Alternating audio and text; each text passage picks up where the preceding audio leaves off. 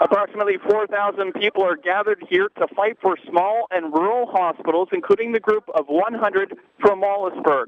The resounding theme continues to be that citizens will pay the price with increased wait times and lives being endangered should the changes be made. SOS spokesperson Jeff Wesley has just addressed the crowd and wants a moratorium on changes until a panel on rural and northern hospitals that was developed this week makes its recommendations. MPPs Maria Van Bommel and Pat Hoy also came out to see the crowd and spoke with Leslie before the rally started.